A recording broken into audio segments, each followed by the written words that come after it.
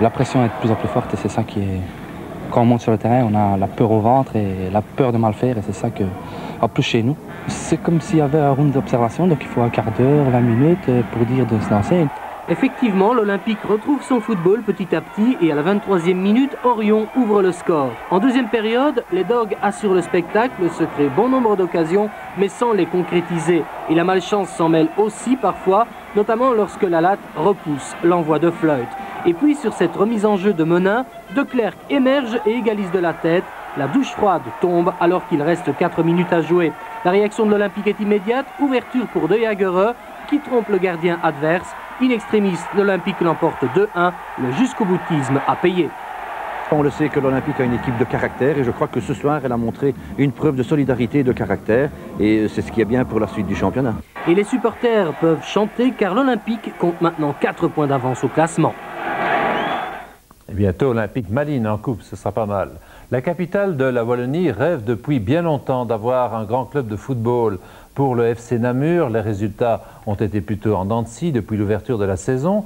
Après les résultats encourageants de Menin et de la Louvière, les Namurois se trouvaient confrontés au match de la vérité devant l'un des ténors de la troisième division, Tiller Saint-Nicolas.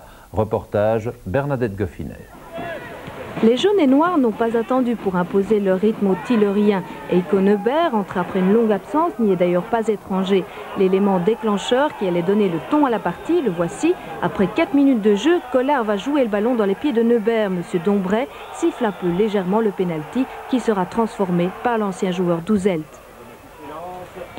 1-0, Namur prenait l'avantage pour l'accroître 20 minutes plus tard. Un petit jeu de construction très bien réussi entre le capitaine Eric Suraï et Conebert qui profitera du court échange avec Étienne Goffin pour aller mettre le ballon au fond des filets. Dès la reprise, Zozo va lancer Étienne Goffin à l'assaut du dernier rempart tillerien, un lobe au-dessus de Gomez et c'est 3-0.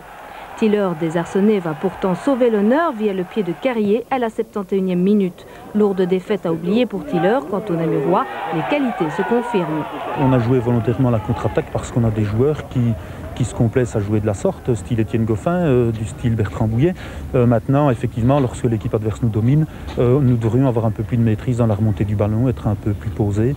Mais vous savez, le monde ne se fait pas en un jour, premièrement. Et deuxièmement, je prétends que nous avons aujourd'hui proposé la plus jeune équipe de la Division 3 sur le terrain. Le volleyball et les grandes organisations internationales dans cette superbe discipline intéressent par définition le nord du pays. En Wallonie, on observe euh, cependant plus qu'un frémissement et au-delà de l'exemple de Moucron, il y a d'autres clubs qui font parler d'eux, comme Spa et Jambes qui se rencontraient samedi soir. C'était en fait la tête d'affiche de la division nationale, en fait la deuxième division car l'élite joue en division d'honneur. Notre observateur sur place, Philippe Colette.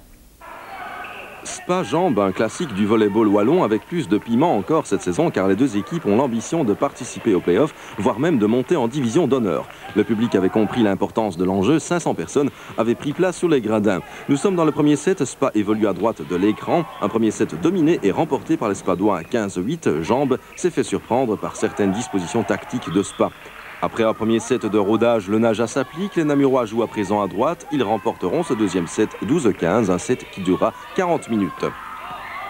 Dans le troisième set, le Naja perdra son joueur hongrois, victime d'une entorse. et Spa en profitera pour s'imposer 15-9.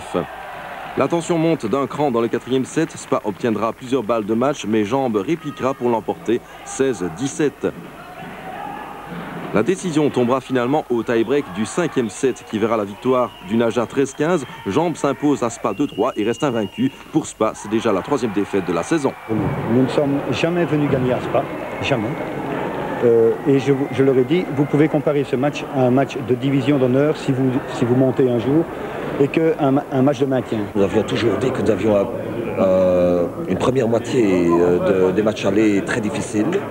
Euh, n'empêche qu'aujourd'hui on ne pouvait pas perdre et ça va laisser des traces. Une exposition tout à fait insolite se tient actuellement à Charleroi. Crocodiles et tortues se meuvent à moins d'un mètre des spectateurs. Nathalie Gobb a surmonté son angoisse pour vous, pour vous en ramener quelques images. Isabelle et ses parents sillonnent l'Europe avec pour seul bagage quelques crocodiles et tortues. En effet, depuis plusieurs années, ils étudient ces reptiles et ont décidé de leur donner meilleure réputation. Ils ont la réputation d'être des animaux agressifs, alors qu'en fait ce sont des animaux qui, n'attaquent que pour manger ou pour se défendre. Ce sont des animaux qui sont bien nourris, on a pu le voir, et euh, ils ne se sentent pas en danger. Au contraire, ils ont plutôt peur par rapport à nous que que nous par rapport à eux en fait.